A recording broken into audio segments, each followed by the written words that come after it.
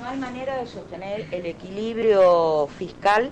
Eh, hoy nosotros estamos cerrando el año 2021 con equilibrio fiscal. Hablar de equilibrio fiscal es haber gastado hasta el límite del recurso. Eh, para seguir sosteniendo este equilibrio fiscal, nosotros tenemos que tomar medidas que ese gasto no supere el recurso.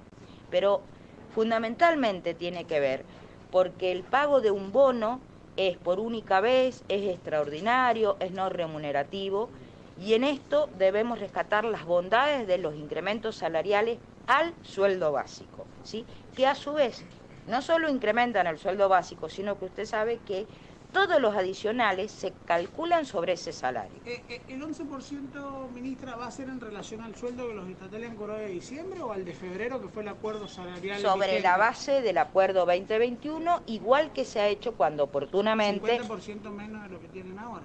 Usted sabe bien, Mauricio, que cuando el IPC es acumulativo sobre una base y de esa misma manera se calcula el incremento. Cuando usted toma la inflación acumulada, toma un mes base Usted mismo recién me repetía, me decía que posiblemente a diciembre estemos eh, en un porcentaje similar y es sobre una base que es enero, ¿sí? Según los cálculos de Hacienda, entonces el incremento o el acuerdo eh, salarial del 2021 que contemple este 11%, el acuerdo general es de un 69%. Exactamente. Sí, sí, sí. El incremento de los salarios del 2021 culmina en un 69% de incremento. Disculpe, ministra, le hago una consulta porque algunos venimos llegando, nos enteramos recién. La base y el nodo del anuncio, por favor. Estamos anunciando el incremento del mes de enero, ¿sí?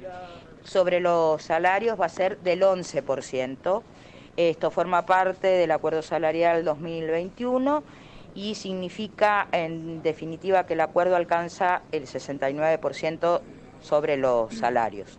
Y para los contratos un 30% de incremento. ¿A partir de enero? A partir de enero, sí. ¿cuánto va a significar en, en plata que va a poner la provincia? Y aproximadamente cada punto representa...